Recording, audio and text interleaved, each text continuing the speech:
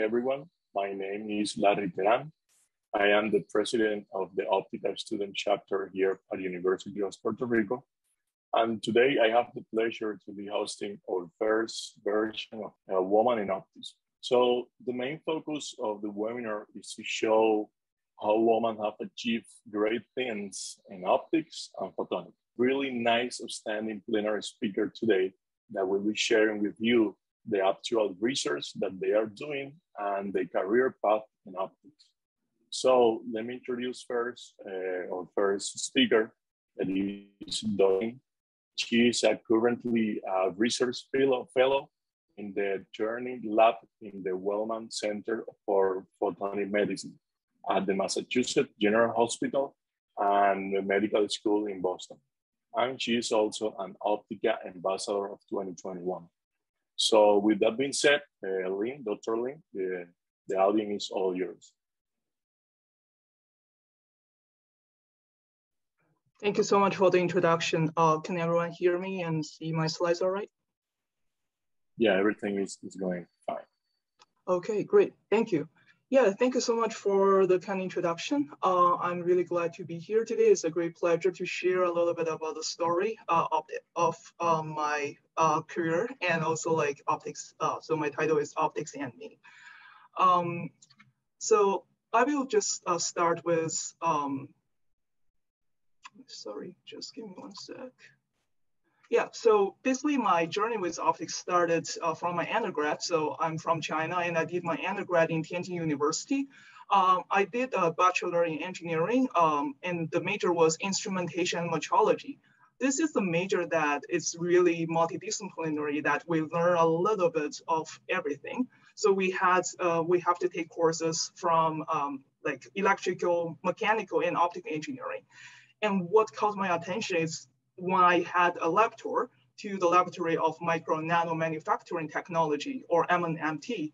And this is a lab that is specialized uh, in the design and manufacturing of freeform optics. And at, at that place, I've seen like optics that are designed, you know, like they are not ro uh, rotationally symmetric and they have created like wonderful patterns and really different shapes that for all different kind of applications, for example, like illumination and also like um, the AR VR glasses um, in 2013 and 2011. That's really, really uh, new thing for me. Uh, and I was intrigued and joined the lab as a research assistant. Uh, and my project at that time is trying to mimic um, the, um, um, the insect's compound eye. Uh, because they are really different, unlike our optical system, which usually only have one aperture they have multiple apertures facing different directions. And the way that we want to approach this is to design an um, artificial compound eye that are compact and can see like a really large field of view.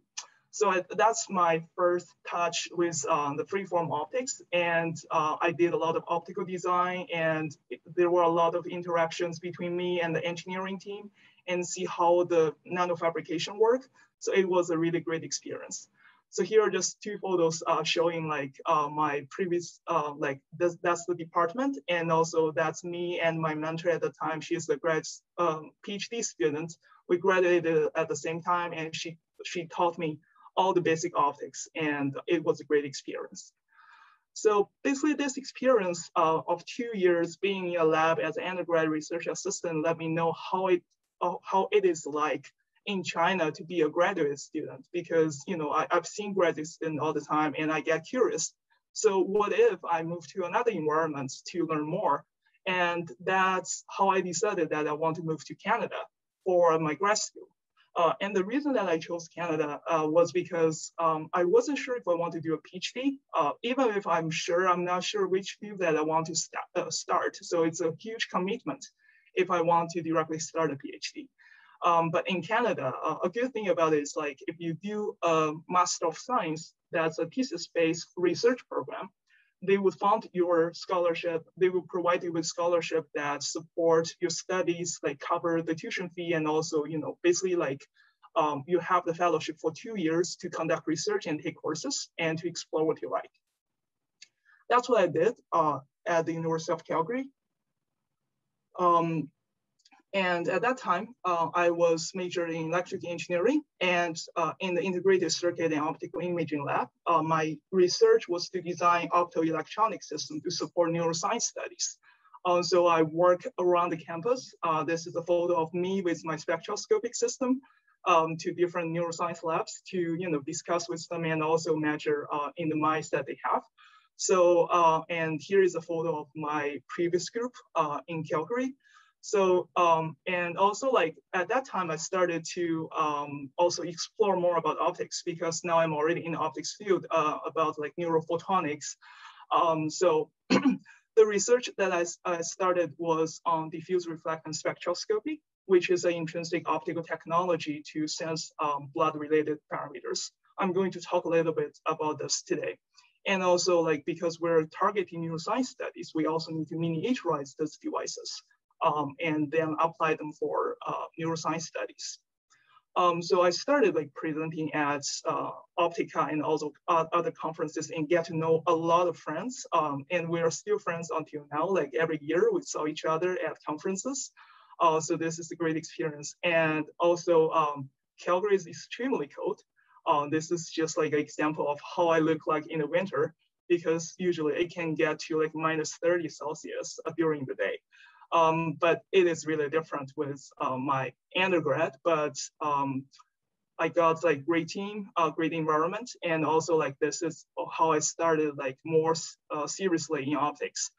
Um, and I decided to stay in actually in the same lab for, for my doctor degree. Uh, and I stayed there together for six years, um, but working on slightly different projects that's also the time when I get involved with Optica. Um, that's how I started with student chapter. We have a combined chapter with Optica, SPIE, and IEEE Photonics, and we call it Opti uh, COPS, that is Calgary Optics and Photonics Student Society. One unique thing about Calgary is that it is a city that is focusing on oil and gas industry. So everyone in the city are doing something related to oil and gas. So very few people are working on optics. So outside the, outside the university, we, we didn't really know if there are many companies out there. Uh, to my knowledge, there is only one.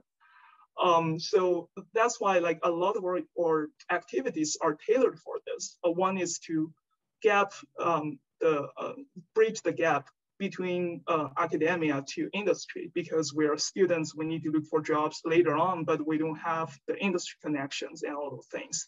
So a lot of events are bringing in like all, um, outside speakers. Uh, for example, like this photo is actually like we had our Optica um, ambassador visit. Uh, so this is Eric Zhang.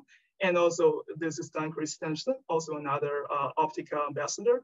And actually this is the start why I became interested in being an Optica ambassador because they provide really great um, like career advice and also really spend the time with the student chapters. Um, and for example, like Eric Zhang, like he spent 10 hours because it was a snowy day and he was with the chapter officers and really provide us with like career advice and share his uh, career path. It was really inspiring. Um, and here are some, like, for example, here are the speakers like Dr. Uh, Sune and Katarina Svanbergs uh, and they're really great um, big names uh, in laser spectroscopy. Um, so another focus that we do is optical outreach because really few people knows about optics and photonics. So that's why like um, in, in the earlier in K-12 education, they learn about optics, but they don't really know how to, how, uh, this is a career path, that this is a career option for the future. So uh, we have conducted a lot of optical outreach. Um, some of them are supported by uh, the Optica special grants um, for education. Uh, and what we did was we drove to the rural schools, uh, which are usually like two hours away from Calgary. So they have really limited resources to science museums. So we will like bring uh, we will bring all the optical kits uh, with our demos and also with slides and we drove into those um, rural schools in their classroom to share the joy. So this is usually really welcomed by the teachers and also by the students because they are really different with what they learn in class, um, since everything's hands-on and you know like they can really touch a laser and see what the optical fibers is like. Um, and also like it was a great joy for all the volunteers because we get a chance to see the excitement uh, from the children and also like we can share our joy and excitement about this technology. Um, so uh, I spent four years with the student chapter and they're still doing a great job right now. And uh, um, like to me, like student chapter is actually uh, opened a lot of door for me, um, like at conferences and also like even my postdoc position was through connections that I got to know through the student chapter.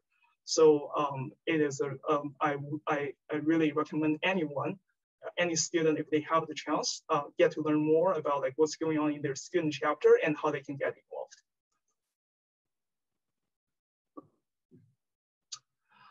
Then after I graduated from my grad studies, um, I moved to the US for my postdoc. Um, so basically I'm at the Wellman Center for Photomedicine. Um, this is a research center uh, in the Massachusetts General Hospital and we are affiliated with Harvard Medical School.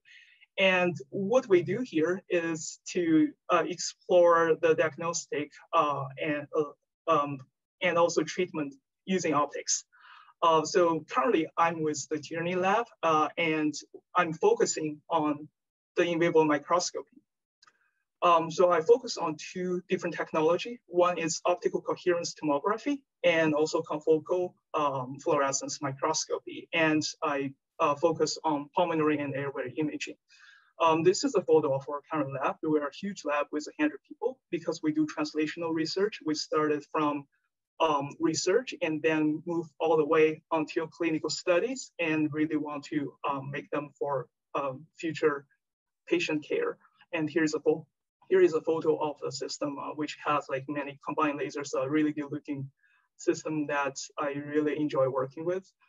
Uh, again, I'm still doing outreach here. Um, some of the events are still like uh, supported by Optica. I'm really grateful for that um, resources. Uh, and uh, we have a YouTube channel, Out, um, Wellman Outreach. If you're interested, we are actually posting uh, videos about our current research to disseminate what we are doing here. Um, the series are, we have uploaded the first video and there will be more to come. So um, that's about me, uh, my career in, uh, in optics uh, in, inside the classroom and in the labs, but they are more about optics and that I play with cameras that I really enjoy walking with my camera, cameras around. And here are some photos that I took over the years. Some of them are in Calgary, some of them are in like Banff National Parks and also here in Boston. Uh, definitely like optics is a huge part of me. So now let's switch gear and um, I'll talk a little bit about my research. I'm not going to dive into really detailed uh, today, but if you have any questions or would like to learn more, I will be happy to chat afterward. Um, so firstly, um, my graduate research, which is uh, for functional brain imaging. So functional brain imaging is actually for visualizing uh, and mapping what's the physiological parameters to study how the brain works it is not only like structural imaging as usual. Um, so their optical contrasts are really useful uh, and they're, they are very advantageous um, compared to traditional radiological parameters. Um, so usually based on whether we need foreign contrast agents to be introduced, um, they can be classified into extrinsic and intrinsic optical signals. And all my experiments are based on uh, intrinsic so that means these are label-free technologies. And usually these ones are using uh, metabolism um, parameters. And the common uh, intrinsic optical signals are scattering and absorption. So here it shows um, like the absorption coefficient of hemoglobin. So in the brain, uh, the most um, the most uh, dominant chromophore that absorbs light is hemoglobin.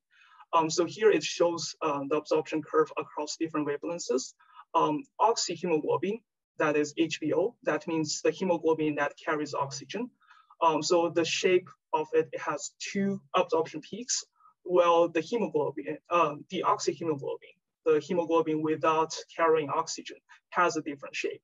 So basically the basic here is uh, we want to look at what's the shape of the spectrum. And from this, we can tell like how much hemoglobin that carries oxygen. And basically that's the parameter of oxygen saturation. Uh, another parameter is blood volume fraction. So basically we have more blood in that volume. Um, what would happen is like more light, more light would be absorbed. So basically by seeing the shape and also the amplitude of the spectrum, we can tell like what's the intrinsic optic signals and uh, figure out these two parameters. And these two are really important biomarkers for brain because um, they are direct, indirect measurement of neural activities. Since uh, the, the brain um, activity would take up energy, that energy is actually delivered by the blood, which carries the oxygen and glucose. So that's why it is an indirect way to show like how, uh, which part of the brain is active and also a really important tool to study what's the relationship between neuronal activity and blood. Um, another thing that we, uh, I want to talk a little bit about here is freely moving animals. Um, so um, in neuroscience studies, it's really important to conduct experiments while the animals are freely behaving and freely moving. Um, this is because um, there can be artifacts introduced by anesthesia. For example, like it, it, it's known that they can change the normal physiology of the brain. Uh, and also like otherwise we also need to we may need to restrain the animal and that can induce stress and also change the physiology and the behavior.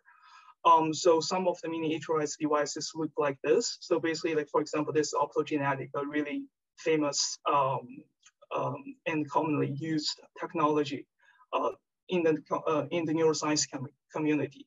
And basically they implant the fiber and use light to stimulate a certain part of the brain so the animal would carry this part and there is a fiber connection uh, with a benchtop system. Similar with like this kind of miniaturized microscopes. Um, the animal carry this part, which is really small, and then they have fiber and also wire connections to a benchtop system for data acquisition for power. The other kind of system is something like this. It's a standalone system. That means everything is packed in that small system and the animal is carrying them around definitely this part, this kind of systems are better since the animals are not tethered, but it's also more challenging because small things um, has to be compact. Like the system has to be more compact. So um, the basic idea of my graduate work uh, for single fiber spectroscopy is that we want to measure the intrinsic optical signals uh, from deep brain region. Uh, this is really hard to access and also like functional MRI or other technologies cannot really reach that brain region. The idea here is that we want to implant this fiber just like optical uh, optogenetics and to a target region. And then the optical system would deliver light into the uh, tissue and the light that has interacted with the tissue will um, come back through the same fiber and go to the spectrometer. The system design is relatively straightforward. We use a LED as light source. The light is collimated and focused into a multimode fiber. The fiber is a 20, uh, 200 micrometer diameter core. Uh, and also we can conduct Monte Carlo simulations to see like how big is the volume that is sampled by this uh, fiber. Um, so we have an idea of like whether we are targeting, what kind of uh, brain regions that we are targeting while we are implanting. Uh, one, uh, and then um, the light that coming back from this fiber uh, will be collimated by the same lens again, and the beam splitter like um, directed and uh, send it to the spectrometer. One thing that we want to note here is like the reflection from the fiber can also be collected this way. Uh, and because we're using the same wavelengths, uh, it's going to be a baseline of the signal. Um, and uh, that's going to reduce the dynamic range of the system. And to reduce that, uh, we did a small trick, which is to angle polish this fiber. Um, so the fiber end here is at an angle such that the reflection and the signal light, they will go different direction. And we use that to remove the baseline. Um, and we did like Zemax simulations uh, and also like some fiber polishing uh, to uh, enable that. Um, and then uh, basically like system design, like we, again, like we make it uh, for the animal system. Um, and I'll just like um, go through the end. So basically like um, here, uh, we have the system connected to the animal where the animal is freely moving. And from this, uh, we can extract what's oxygen saturation and correlate it with what's oxygen level in the box uh, to uh, as an estimate of how the how accurate the system is. And basically with the system, we were able to get the oxygen saturation, which match uh, the environment control that we did. And also this is the first demonstration of hemodynamic monitoring in the deep brain uh, from the freedom moving animal. Okay, I think I'm running low on time. Just want to double check. Um, Larry? Yeah, we we still, we are entering in the five minute question, but you can finish if you have something else to, to say. Um, sure, actually, I think maybe I can stop here. Um, and uh, um, because I did prepare something about my graduate um, postdoc research, but I think maybe I'll just skip it for now. Yeah, go ahead. And I just want to show my acknowledgements of, of everyone that who has contributed to my research in the past. Yeah, thank you. Okay, sure. Thank you. Thank you very much. Very interesting presentation. So if anybody have questions, so you can put it in the Q&A panel, right? So make a question about the research or you have a question, something advice about the career in optics. So now is the opportunity to make it. So while we're waiting for somebody to ask question, maybe I have one question. Go ahead. So in the in the slide number seven that you were showing the the hemoglobin and opti-hemoglobin uh, uh, absorption, right? Mm-hmm. You show that there is the fraction of the blood. Yeah. Is there how how do you measure that for I mean for the for the slide or for the sample that you are working on? Is there any way any way to approximate that value or something or yeah, definitely. So basically, like there's a way to find out what's the concentration based on the modified Beer-Lambert law. So basically, Beer-Lambert law uh, correlate like what's the concentration of a chromophore in a volume um, of um, basically like it depends on like what's the path length of light that travels in that sample, which can be simulated by a Monte Carlo simulation. So basically, if we know that what volume that we are actually sample from and how much absorption happens there, with absorption coefficient, we can calculate what's the concentration of hemoglobin in that region, and that can be correlated to what's the volume of blood uh, in a single volume of tissue. Okay, yeah, that's very nice. Yeah, Monte Carlo is very useful to, to make those simulations. So, yeah. yeah. definitely. Um, and, and the, the, the coefficient you are, so with that research, you are available to determine like how much of among of hemoglobin and how much the concentration is for each one. You, you can make it all the total hemoglobin concentration is what you do. Yeah, um, sorry, I, I think it's a little bit cut off on my side, but if I hear it correct, um, basically it, it's the shape because it's a combination of those two different curves. So by seeing what's the final shape, it can tell us like what's the percentage of oxy and deoxy. So that would give us like the parameter of, you know, like um, what's the total number, uh, total concentration of hemoglobin, and among, among that total number, what's the percentage of them are oxygenated? Yeah, sure. Yeah. Okay, that, that's really nice. Nice. Okay, I think we have here uh, one question, the Q&A panel. Sure, yeah. Um, There's you can see it, right? Yeah, I can see it. Uh, yeah, for sure. I'll answer the first question. Um, definitely, yeah, Calgary is really relying on the carbon-based products. Um, so that's why, like, when we talk about photonics to the young kids, most of them don't know about it, and most of them doesn't even know like what engineers are doing because we're actually going into the rural regions. Uh, most of the kids they are actually more interested in, you know, like uh, getting other kind of jobs they imagine like engineers are driving trains or things like that. So it, it was always fun to ask that question. Um, but they are just you know, pure curious about optics. Like they cannot believe what they have seen when we are using a mirror to reflect the laser, for example, to the ceiling or something. They are just like excited. Um, so definitely, I think like the the kids they don't really care about that. This they are curious um, natively and um, they just enjoy the session. And we do want to present them that, okay, there is a career, career path that you can go through. And I'll go for the second question for sure, yeah. Uh, the second question is like, um, if I have ever thought about moving to industry, definitely. I've been like oscillating so many times um, since my master's. Um, and let me put it this way, still until now, sometimes I'm thinking whether I want to move to industry. I think this is just an ongoing question. The more I learn about industry, um, I, I realize like I don't have enough information to make that decision. Um, I, um, so basically like, um, let me put it this way. I used to think like this is a career path choice, like academic or industry. But then I realized there is indus industry research and there is also academic translational research, like the one that I'm working on, which is almost the same as R&D. So definitely it is not a clear division. And uh, I do think like, um, I don't have a really good answers for now, but I'm still exploring and I will be willing to share about the lessons I learned in this exploration. Yeah. Okay. So thank you very much, Dr. Lin, for the presentation or your advice for the students that are attending this meeting today.